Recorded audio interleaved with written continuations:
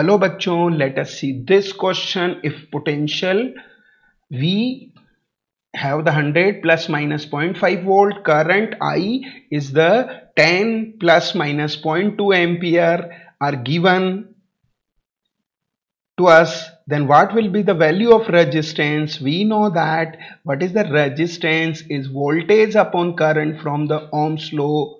So what is the delta R upon R yeah it can be written as v i minus 1 so delta r upon r after differentiation is delta v by v plus minus delta i by i. In error it is always additive. Is that clear?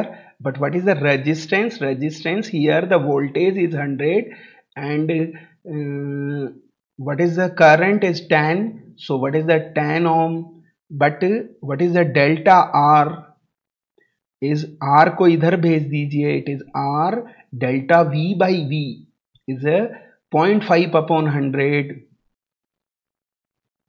upon 100 plus delta v delta i is 0.2 0.2 upon 10